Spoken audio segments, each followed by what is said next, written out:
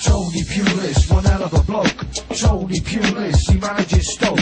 Tony Pulis, not from Brazil. He's from the port and he was born in Pill. Tony played football in defence, but now his playing career is in the past tense. He started playing football back in the day for Newport YMCA. His professional football career began. He played for loads of clubs like Gillingham, Newport County, Bournemouth too, and Bristol Rovers just to name a few. Tony is a man of great ambition, hung up his boots, got a managerial position. With his initials on his tracksuit, he taught the team how to pass and shoot. Tony Pulis, one hell of a bloke.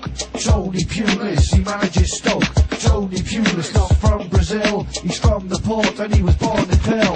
He managed a few clubs along the way, now he's back at Stoke, could be to stay. A couple of signings and the future's bright, and he won promotion to the top flight. He wears a tracksuit and a baseball cap. If he had a gold chain, he could probably rap. He's an honorary member of the GLC, and maybe one day he could manage county. Tony Pulis, one hell of a bloke. Tony Pulis, he manages Stoke. Tony Pulis, not from Brazil, he's from from the fourth and he was born to tell.